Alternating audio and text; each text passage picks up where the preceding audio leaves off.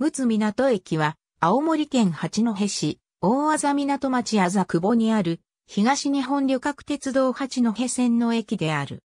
かつては、駅南側にある、八戸セメント、八戸工場への専用線が分岐しており、当駅は、東北地方へのセメントの発送拠点となっていた。島式ホーム一面二線を持つ地上駅、橋上駅舎を備える。八戸駅管理の無人駅。タッチパネル式自動券売機1台、待合所、トイレが設置されている。なおキオスクは、駅舎内ではなく、駅北口前に立地する。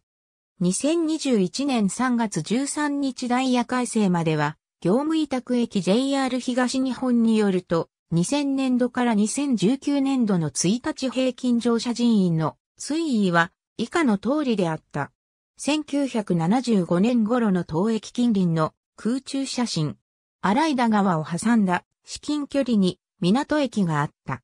国土交通省国土地理院地図、空中写真閲覧サービスの空中写真をもとに、作成駅前には、八戸市営魚な小売市場があり、毎週日曜日を除く朝から昼にかけて、新鮮な魚介類が販売されている。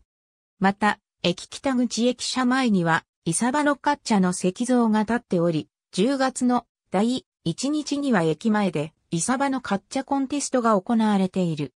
立ち公園下の岸壁では、毎週日曜日の朝から昼にかけて、国内最大規模の朝市が開催されている。1985年3月までは、荒井田川を挟んだ至近距離に港駅が存在した。当駅の名に、道の区を関する理由は、港駅より後になってから開業したためである。ありがとうございます。